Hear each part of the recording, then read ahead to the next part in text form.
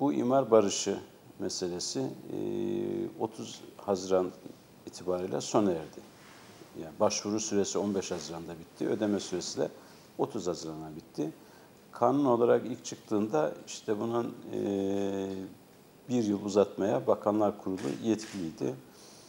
Şimdi e, imar barışının işte böyle fazla uzatılmasının sebeplerinden birisi bu e, ekonomik e, sıkıntıyla çakışması diye düşünüyorum ben. E, başvuran vatandaşlar e, yani e, bedellerini yatırmakta zorlandılar, hala da zorlanıyorlar. Dolayısıyla e, bütün kamuoyunda böyle bir taksitlendirilecek beklentisi çok yüksekti, vardı.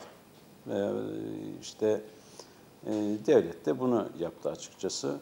Yatıramayan e, çok vatandaşımızın olduğunu düşünüyorum. Ben sayılarla ilgili elimizde bilgi yok ama e, yatıramayan çok sayıda vatandaşımızın olduğunu biliyorum.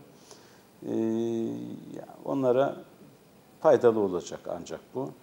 E, sevindirici bir tarafı şu, yani ülkemizde bizim her şeyi zamanda yata, yapan, yatıran vatandaşlarımız cezalandırılır ya. İşte burada e, uzatıldı ama yüzde iki gibi bir e, cezası var. Yüzde iki farkla ancak e, yatırabilecekler, faydalanabilecekler. O da en azından teselli kısmıdır.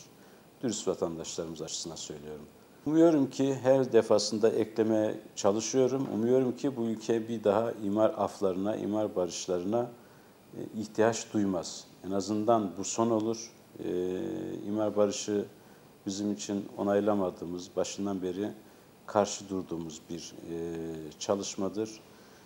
Belediyelerimiz de bundan sonraki süreçte kaçak yapı kesinlikle yaptırmazlar diye temenni ediyoruz açıkçası e, bu işin takipçisi de olmaya gayret ediyoruz ama e, bu işin sorumlusu belediyelerdir. Kaçak yapılar şehrin kanserli hücreleridir. Bu tür yapılaşmaya umuyorum ki bundan sonraki süreçte belediyelerimiz izin vermez, vatandaşlarımız da kaçak yapı yapmaya tevessül etmezler diye düşünüyorum. Peki Mehmet Bey, imar barışı sizce Bursa'daki e, konut yapısını nasıl etkiledi, nasıl değiştirecek?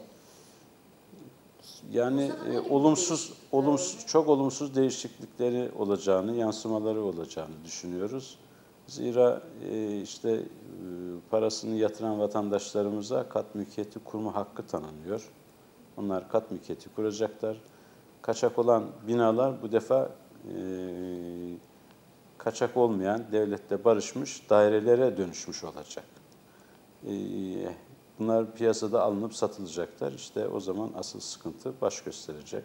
Bugüne kadar bina bazında belki işte arsasıyla birlikte binasının satabiliyordu ya da alabiliyordu. Bunlar kaçak olduğu için de kimse kolay kolay satın almıyordu. Ama bu artık bundan sonraki süreçte işte normal bir e, daire olarak alınıp satılabilecek. Haksız rekabet doğuracak. Bundan yana çok endişeliyiz ki doğuracak yani bu kesindir. Ee, işte ruhsat almış, denetimli harcını yatırmış, sigorta primini yatırmış bir e, yani kurallara uygun yapılmış bir konutla kaçak olarak yapılmış imar barışından faydalanmış bir konut.